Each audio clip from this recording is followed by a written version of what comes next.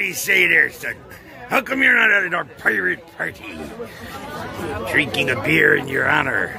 I heard you coming to MobCon. Maybe I'll see you there, huh? Izzy, where are you, man? I'm gonna come find you for not showing up. I'm gonna bury you like a pirate's treasure. Bro. That's right, buried like a pirate's treasure.